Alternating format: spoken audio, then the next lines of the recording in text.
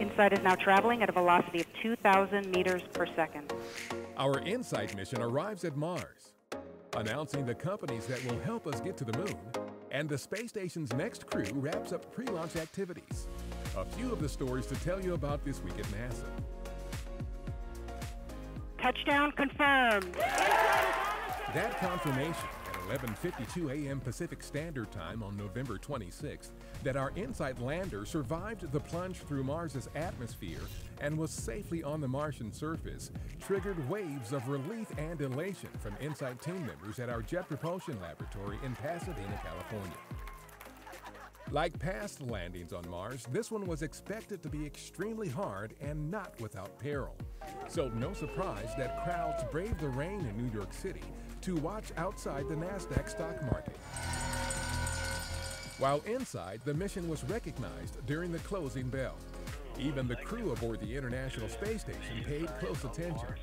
When the dust settled, this photo from the lander, showing the surrounding Elysium Planitia region, erased any lingering doubt the mission had indeed stuck a nearly flawless landing. Today was a great day for the United States of America. It was also a great day for our international partners. This was seen all around the world. Kudos uh, for pulling that one off, and, and uh, we are looking forward to what the data comes out of this mission.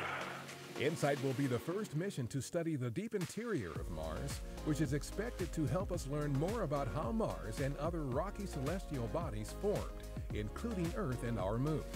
The mission could teach us valuable science as we prepare for our next bold endeavor to send astronauts to the Moon and later to Mars the history books will be rewritten about the interior of Mars. And these first couple of pictures of a place no human has ever seen before also remind us that in order to do science, we have to be bold and we have to be explorers. Also a success was our Mars Cube 1 or MarCO experimental CubeSats that launched with InSight as a communications technology demonstration. The first CubeSats sent into deep space not only helped relay InSight's landing signal and surface photo back to Earth, but even captured an incredible image of Mars as they flew by the red planet. With landing complete, the InSight team will focus mainly on preparing to set the lander's instruments on the Martian ground. InSight is expected to start collecting science data within its first week. On November 29th, we invited media to our headquarters in Washington, D.C. for the announcement of new moon partnerships with U.S. companies. Working with American companies is the next step to achieving long-term scientific study and human exploration of the moon and Mars. We want multiple providers that are competing on cost and innovation so that we as NASA can do more than we've ever been able to do before and advance the human spirit. Under Space Policy Directive 1, the agency will lead an innovative and sustainable exploration of the moon together with commercial and international partners.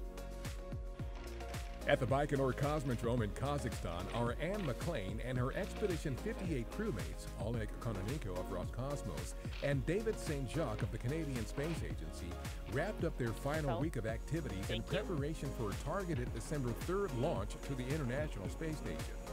The trio is scheduled for a six and a half month mission on the station. That's what's up this week at NASA.